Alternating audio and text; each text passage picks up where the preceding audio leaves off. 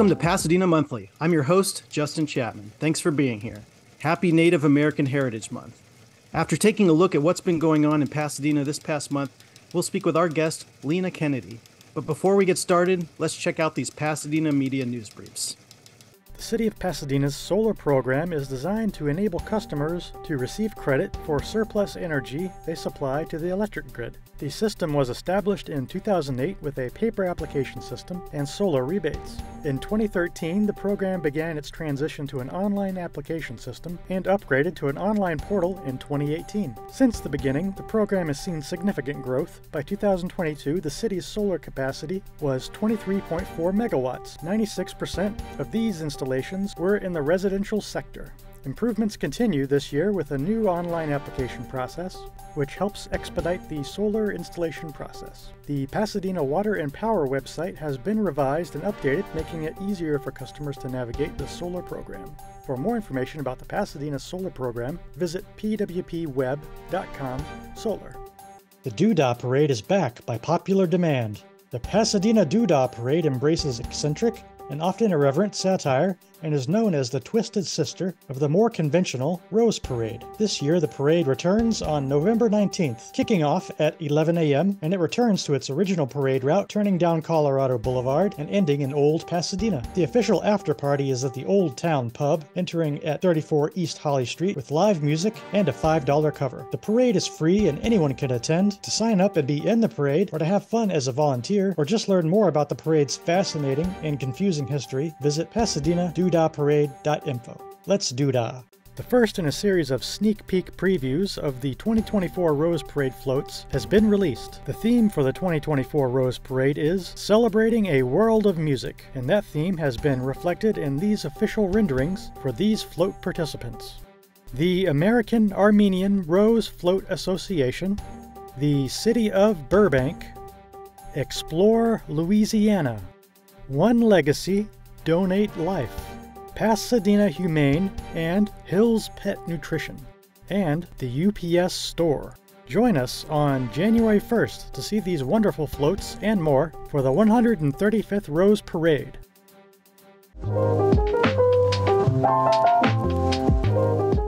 Let's turn next to our lightning round of news updates. 1. The Pasadena City Council appointed 11 residents to a new charter reform study task force. Those members are Lena Kennedy, our guest later in the show today, Margaret McAustin, Marcus Hatcher, Paul Novak, Liberty McCoy, Ken Chawkins, Andy Wilson, Vince Farhat, Raul Francisco Salinas, Jackie Robinson Baisley, and Diana Carbajal Mejia. The group will study the city's charter, which is like its constitution, and issue a report to the council in May or June 2024. The Council will then consider those recommendations and decide whether to put amendments to the Charter on the November 2024 ballot before the deadline, which is August 5th, 2024. The task force will study issues such as the Council's vacancy appointment process, including special elections, vice mayoral appointments, timing of mayoral elections, council term limits, council compensation and family care benefits, and council com- uh, campaign contribution limits. City staff will also consider making recommendations to relevant council committees regarding more technical changes, such as updating accounting terminology related to transfers from the annual light and power funds to the general fund, increasing procurement limits before council approval is required, and minor corrections throughout the charter. Two, the nominated period, period for Pasadena elections for mayor and council districts 1, 2, 3, 4, and 6 is now open through December 8th. However, if an incumbent does not file papers by the deadline, it will be extended to December 13th. Candidates for office must collect 25 signatures, 50 for mayoral candidates, and pay a $25 fee to qualify for the election. Papers for city offices are available in the office of the at City Hall. All of the incumbents and several challengers have already pulled papers. The election will be March 5th, 2024. Three, the City Council increased the amount of its contract with Daniel Davidson to $79,680 with California Emergency Solutions and Housing Grant Funds for consulting services for the 2024 point in time homeless count, which will be conducted January 23rd and 24th and also needs volunteers. Also, I'm sad to report that Dorothy Edwards, a formerly unhoused Pasadena resident turned homelessness advocate whose story of recovery from drug addiction inspired the community, passed away from cancer late last month. She was 65. When she accepted city services and housing, she got sober and began working for such organizations as Housing Works, and she proudly served on the National Board of Directors for the Corporation for Supportive Housing. She was also inaugural graduate of the organization's Speak Up Advocacy Training Program and was named Congressional Woman of the Year by Congressmember Judy Chu. I had the pleasure of meeting and inter- interviewing Dorothy back in 2019 for an article I wrote for Pasadena Weekly.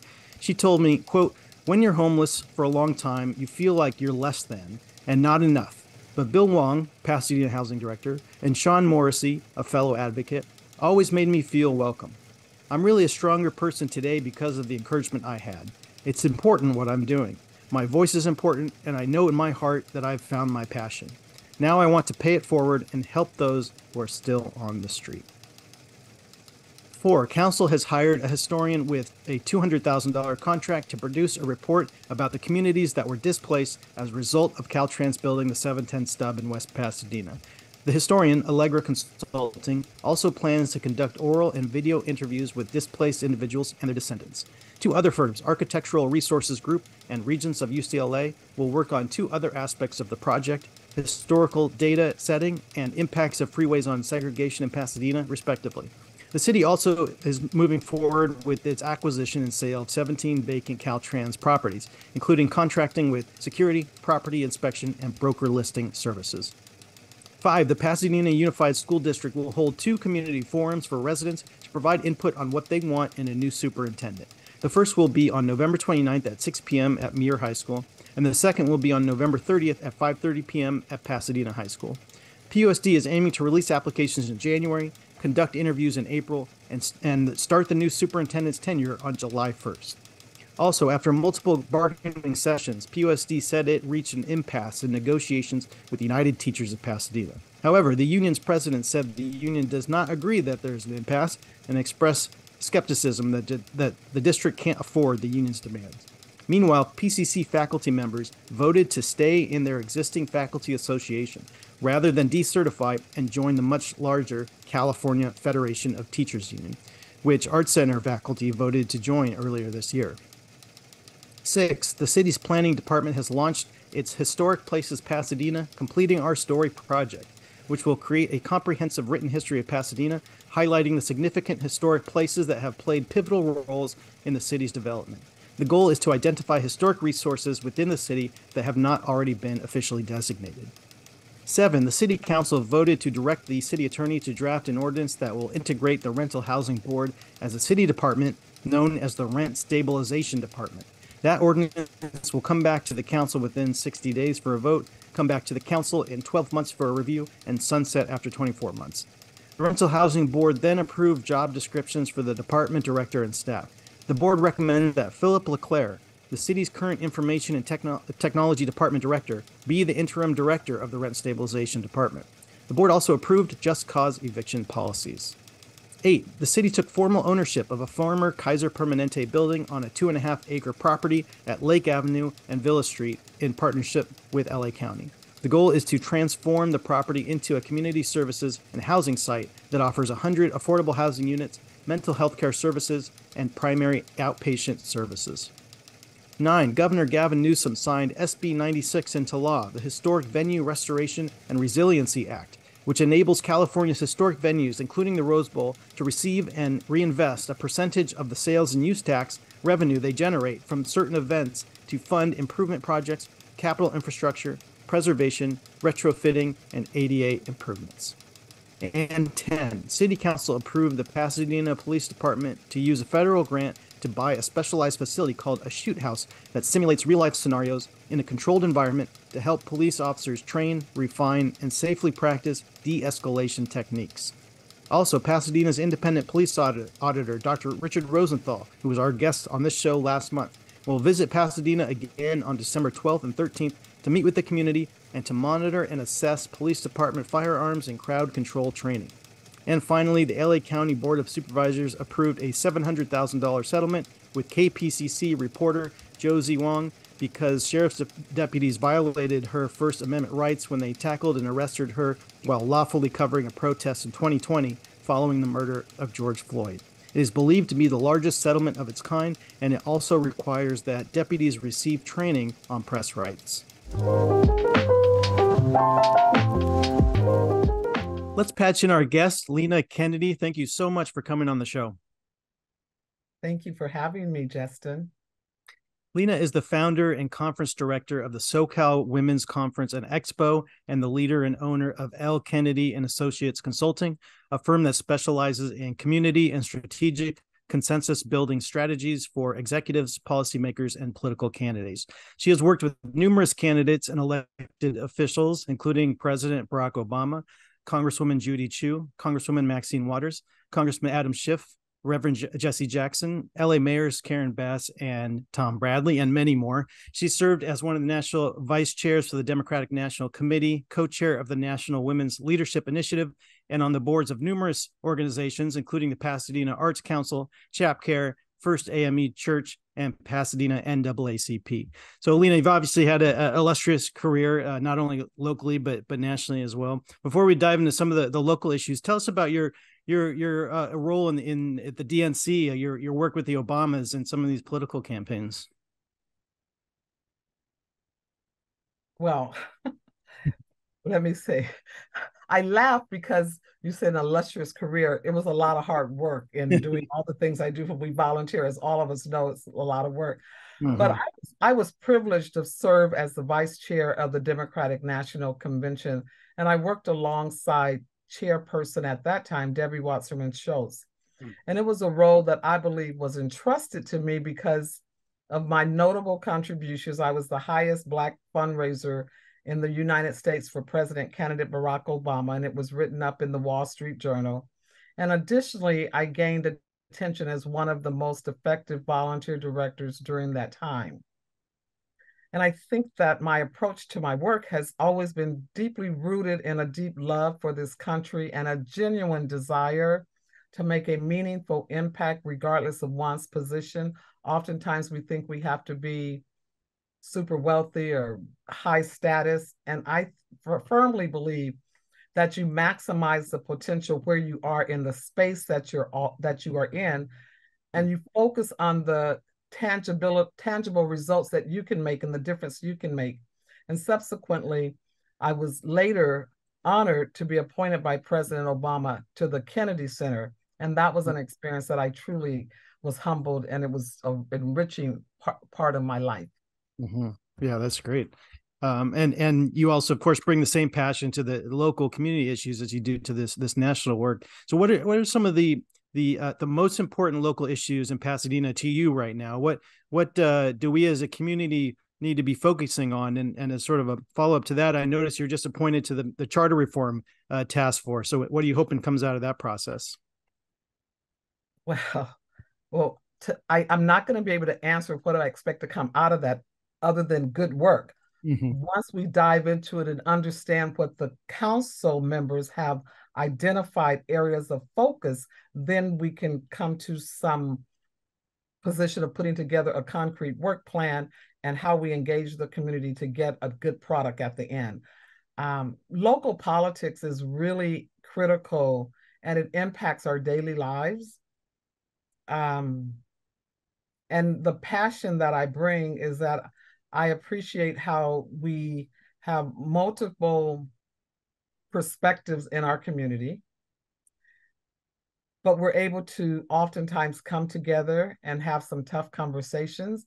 And I think when we're electing local elected officials and national elected officials, I think we have a huge responsibility to each other, to our cities, and to our country, our county, and our state. And that responsibility is that we all have to do our homework. We mm-hmm. need to ask the tough questions oftentimes I have been known to be confronted because I may not be supporting someone that people think I should support. I do not support people based on their national nationality because I'm black. I don't necessarily support someone that is black, but I mm-hmm. look at their approach. I look at their track record. I look at the history of what they've accomplished and how they have treated all people, particularly people that look like me. And if you look like me and you don't treat people like me fairly, you don't get my vote. And I think we all have that responsibility to look at and understand the track record and how these elected officials have a great level of influence. And we need to shed light on their inept when they're running and ask the tough questions so that we can get the best candidate possible to sit and represent us. I don't know if that answered your question about local politics, but yeah, absolutely. And and uh, I, I, don't know if there, there's other. Uh, um, uh, we can get in some other non-political community issues as well, but I want to ask about um, um, uh, your brother uh, John J. Kennedy.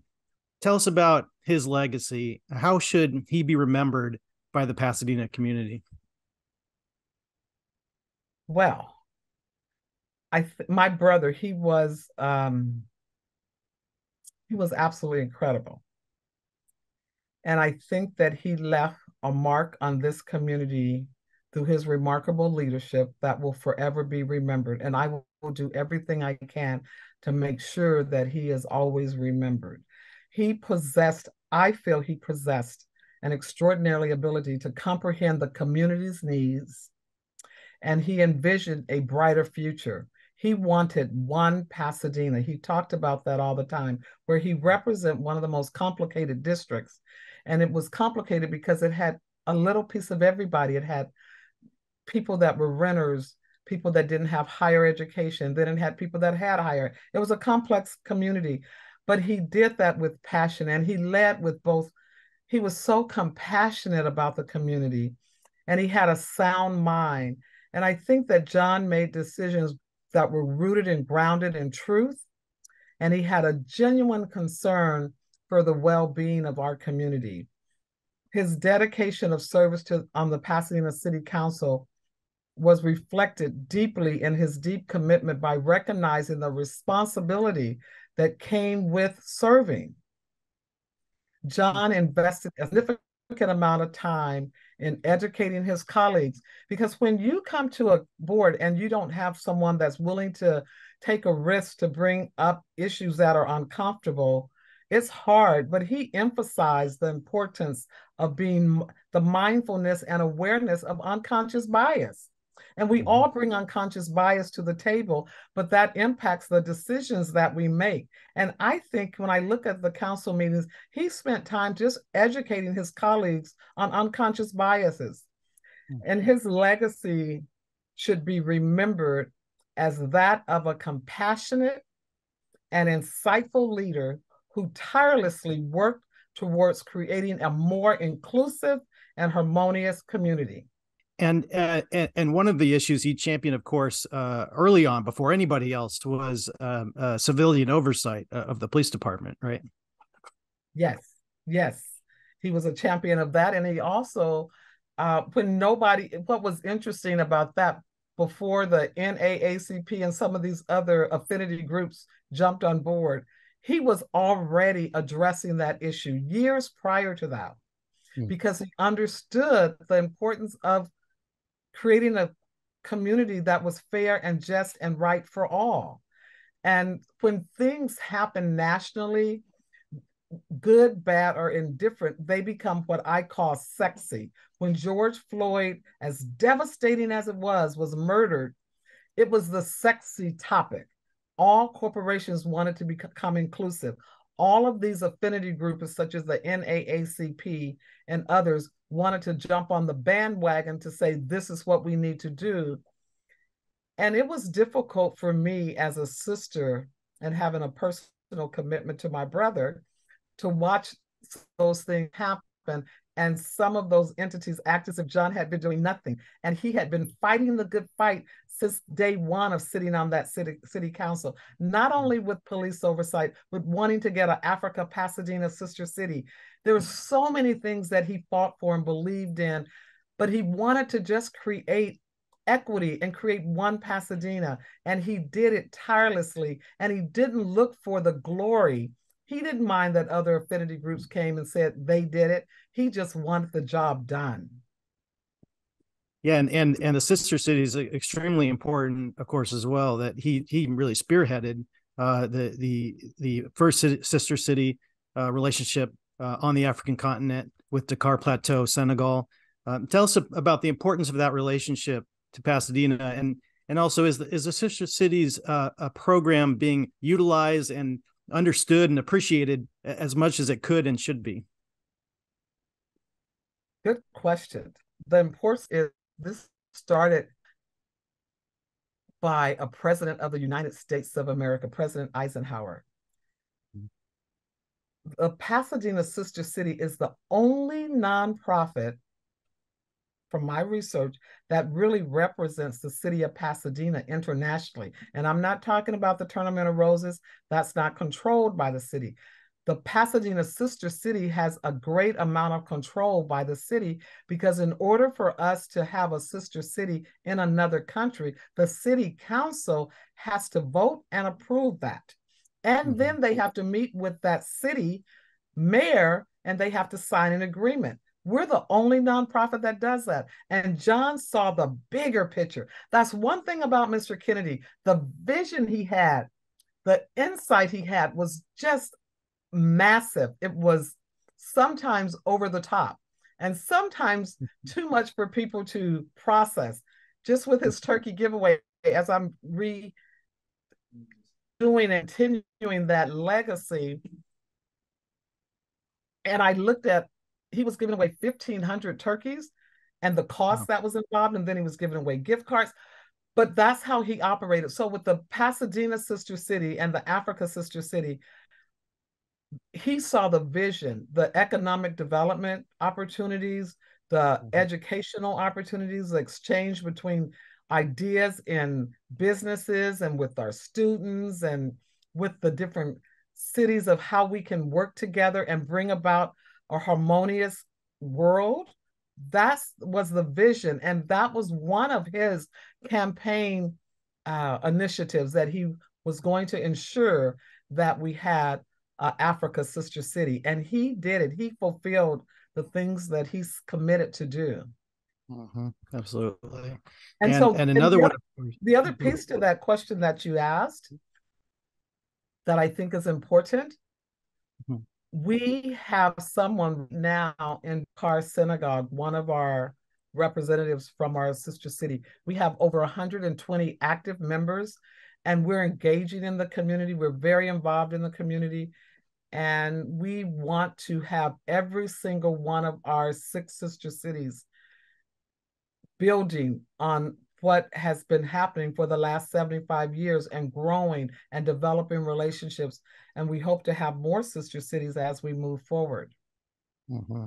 Absolutely. Yeah, everyone should get get more involved with that. That that's really a a citywide uh, a project, as you mentioned. Um, and then, of course, uh, uh, the other uh, major project um, that just finally got completed uh, uh, last month or opened last month that John fought for for so many years it was the community pool uh, at Robinson Center. Tell us about why that project meant so much to, to John and, and what it means to have it, it named after him. Well, one of the projects, as you know, that that it, it really cons- it was he was consumed with dedication for numerous of years when he was renovating, um, having overseen that and a, had that commission that renovated Robinson Park mm-hmm. and the basketball court. That was those were the items that were a part of the completion of doing the field. The field was done under the former council member. Robinson Center and the basketball was under Mr. Kennedy in the master plan, those were the only other two items that were to be completed. But when he looked at it, he said, We cannot call this completed unless we have a pool. And the council members, as we all know, said, No, John, it's not going to happen. We don't have $5 million. It wasn't a part of the plan. Sorry, John. John was dedicated in establishing and making sure that there was a pool at Robinson Park. At the vision to materialize it, and he wasn't going to stop until it happened. And I think the endeavor, this endeavor of making this happen was significant because not only is it a message to having a pool, it should be a message to all young people that having the tenacity and being committed to something, you can get the results. And he had a profound, significant commitment to this. And he was he was the champ, he was the sole champion. He was the sole champion of making this happen. Yeah, he that's that's uh yeah. That's John wanted, in, in a nutshell. Yeah. Yeah, he wanted he he really wanted the black and brown community to have a aquatic center that was in their community. Mm-hmm. And as you know, and many of the people in our community know that John stood alone alone. He stood alone with that and he was but he had unwavering determination and thank God that supervisor Kathryn Barger put up the first half a million dollars to make that happen. And then they were able, he was able to work with his colleagues to ensure that they found other funding to make that project happen. So I'm excited about having his name listed on that because it is so deserving to have Mr. Kennedy's name on there. Yeah, absolutely, and and uh, it, it, I mean, his loss is is a you know a deep loss for the the entire community uh, that's going to be felt for a long time, I think. Um, and so, of course, my my condolences condolences to to you and your family. I'm sure that uh, that difficulty of that loss never goes away. And so, um, you know, I just I just want to thank you for for coming on the show and and telling us about John and, and his legacy and his work for the community, and also also your work for for the the Pasadena community and uh, and nationally. Uh, I really appreciate you coming on and telling us about it. Thank you so very much for having me. Before we go, here is this month in Pasadena history. Speaking of amending the charter, it was this month in 1998 when Pasadena voters approved a charter amendment to implement citywide mayoral elections. Before then, Pasadena's mayor was a rotating position among city council members, and before that was known as the, as the city council starting in 1993 among the city's board of directors. The first mayoral election was held in March 1999, with a runoff in April 1999 between Chris Holden and Bill Bogaard, who was elected. Thank you all so much for joining me for this episode of Pasadena Monthly. Tune in every fourth Friday of the month at 5 p.m. Learn more at pasadenamedia.org and justindouglaschapman.com. Drop me a line at jchapman at cityofpasadena.net. See you next time.